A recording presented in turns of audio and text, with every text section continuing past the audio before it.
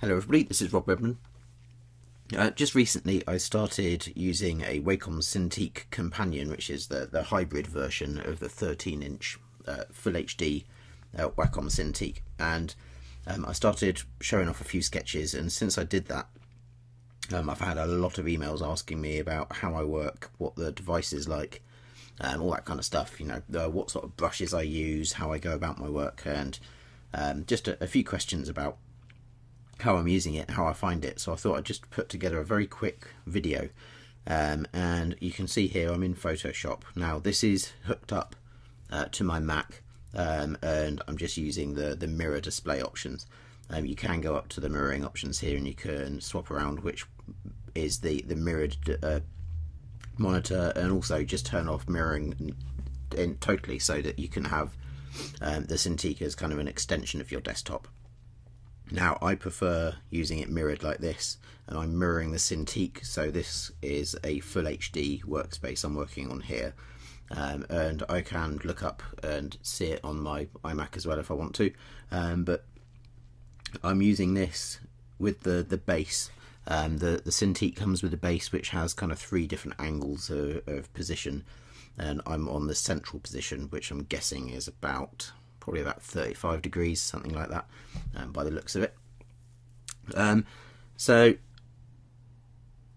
I think my first impressions have been very good. Um, I've really enjoyed using it. It took a little bit of getting used to. Um, I usually use a Wacom uh, Intuos 5, um, so I'm used to using a stylus. In fact, I, I don't even own a mouse um, for my Macs. I always use a, a tablet now, have done for probably getting on for a year. Um, other input devices I have are a 3Dconnexion space mouse, um, which I find quite handy when I'm in a, a kind of a heavy duty modelling mode in 3D. And I also have uh, an Apple Magic Trackpad um, and keyboard just for general use. Um, although, to be fair, I very usually, very rarely use the trackpad.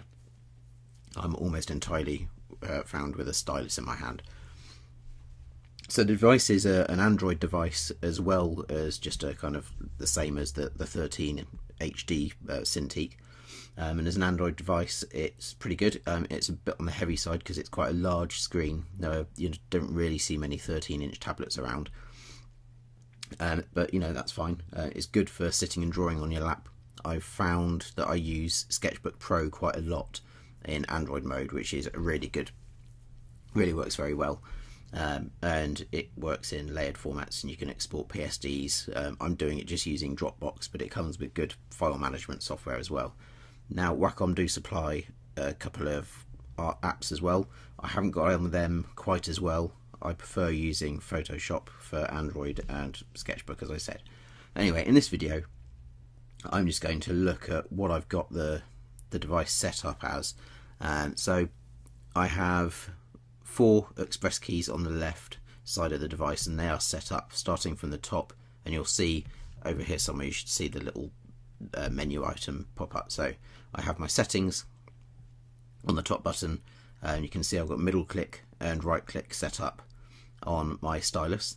Um, just get rid of that. My next button down is for my shift key um, which is quite handy. If you want to draw a straight line or something then you know that's uh, all very good.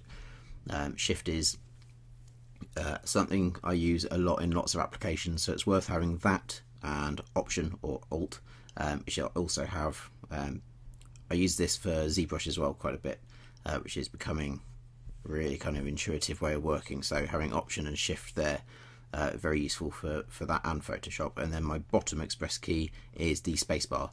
Um, and the image you're looking at here, this white background, um, is 1280 by 720 and you're looking at the actual pixels. Um, so I wouldn't probably use the spacebar much but when I'm working on a bigger file and or I want to zoom in so if I'm zoomed right in then I let's just get something on the screen there. So I can press that button without having to hunt around from a keyboard and I can pan around. Um, and for other apps spacebar is uh, you know always used. It's a very common control. So let's just zoom back out again uh, just go to my full pixels. Okay, so when it comes to my sketching, the, the biggest question, question I've had um, since I started posting my drawings was about the brushes I use um, and my methods of working. So the first thing I'm going to do is just create a new layer. I very rarely work on the background layer.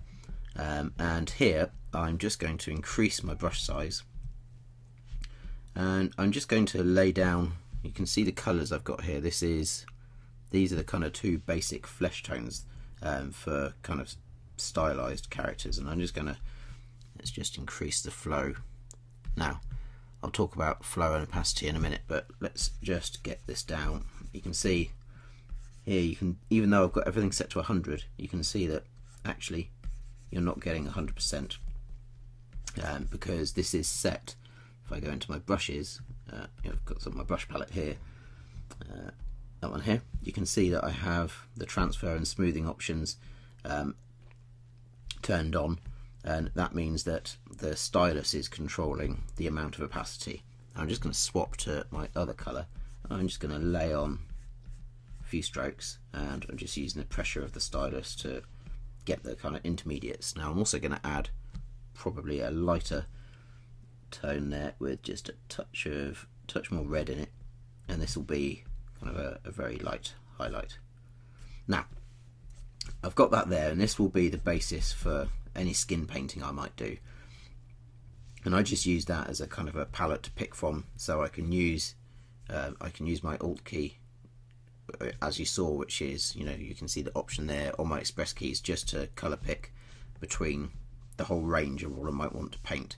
Now this is quite a basic set of colours and there's no cool shades in there there's no yellows really uh, which you might want to add to skin but I would do them on top separately now for my painting brushes, I, as I said, I like to have the spacing turned down to zero, um, but more importantly, I like to have my opacity down to somewhere between 30 and 40 probably, depending on what I'm doing, and flow right down to, again, about 30%. Uh, and that means that I can just kind of work very easily. Let's just undo this. I'll show you. In fact, let's show you on a grayscale image. Um, I'm going to go to black and I'm just going to decrease my brush size let's just make a new layer and this can be let's just uh, let's just draw a quick line across there and some kind of a rock now I'm going to increase again and just using my black and using a little bit of overlay here just to create a bit of depth here. Um, what you can see straight away I don't like the size of this brush is how this builds up. Now this is a really grotty looking drawing obviously. Uh, this is not pretty by any means but it shows you how I work and I tend to start off very very loosely indeed um, just add a bit more shadow over here. Now I'm using brushes uh, the way I would usually use a brush, um, but it's um, it's not pre precise example. Now I can use Alt just to pick a white and decrease my brush size and just add in a bit of a highlight here.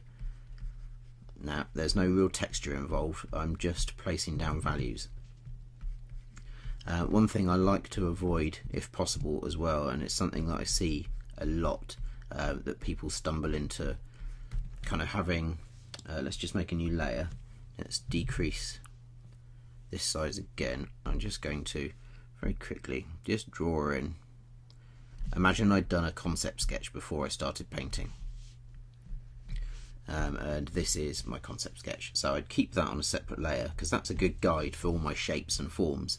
Um, but actually generally speaking you wouldn't want to have a black line around everything unless you're doing kind of comic work possibly. Um, so I'm going to take a mid grey I'm going to get a really big brush and just lay in a slight background. Very very quick strokes.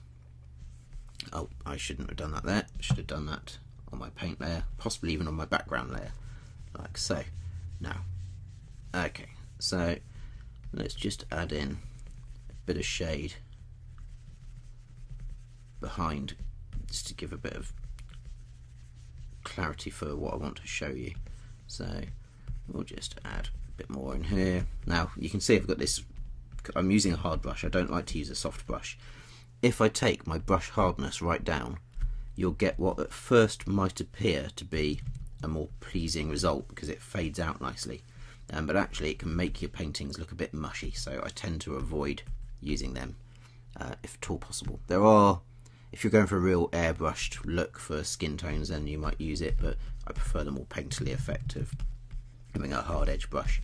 Anyway, so let's go back to what I was saying. Uh, I don't like to work with the lines, line art showing in the final version, so I'll go into my paint layer and I'll just pick my highlight color. Um, might just zoom in a touch here, and this is where the other express key comes in. And I'm just going to reduce reduce my brush size there and just go around where I might have missed just because my sketch was on top and just go picking in some details here okay so okay I'm going to just extend this over the top. I'm going to chip some of these corners as well because it's a bit of a potato looking rock. And reasonably happy with how this is looking. Now one other thing to think about is, and this is more of a 3D thing actually, uh, I'm going to make a new layer, I'm just going to increase my brush size and just bring the floor because it's not really a proper floor so don't worry too much but it's just okay now if you're working on something that has some ambient light you might not have this full shadow here. In most cases you'll find you'll have a bit of bounce light. So this is why I talk about 3D. So if you turn on GI and you do a render of a shiny ball, um, something that I'm sure you all know I'm a fan of, uh, you'll have a, a, little bit of a bounce light and it might be a different colour. Um, it, in grayscale obviously you're just going to have um, a slight bounce back. And all I'm going to do is I'm just going to add a slight bounce there like so. Now if this gets too strong I can always dial it back in. Um, I might just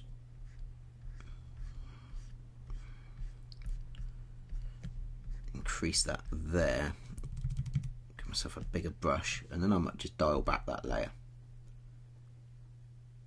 so like so you can already see our potatoes looking a little bit more realistic. Now I was talking about the colours I use earlier on. Let's have a look at maybe just just going to delete that sketch. I don't need it anymore. Uh, let's use this layer which was our sketch layer which is now an empty layer. See if I can give you a bit more.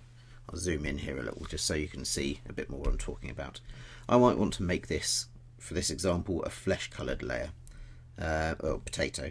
Um, so I'm just going to pick my base color. So using my option express key.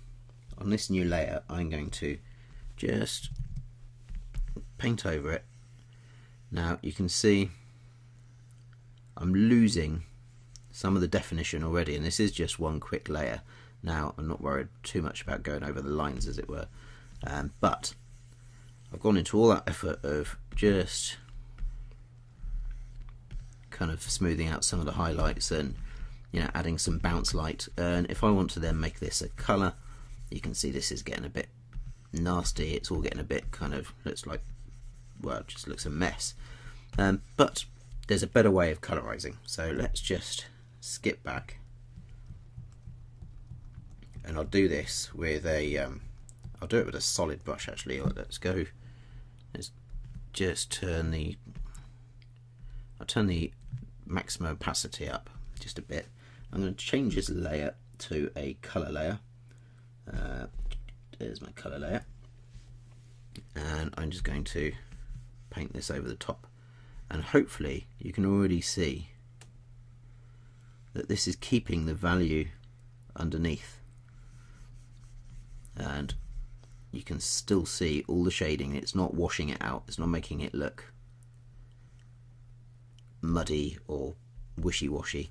Um, and this is all looking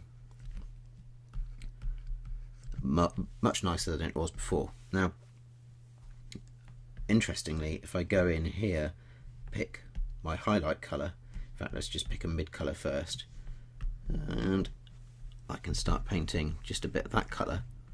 I can add in a little of the warmth to my highlights without having to actually paint the highlights, uh, which is quite useful.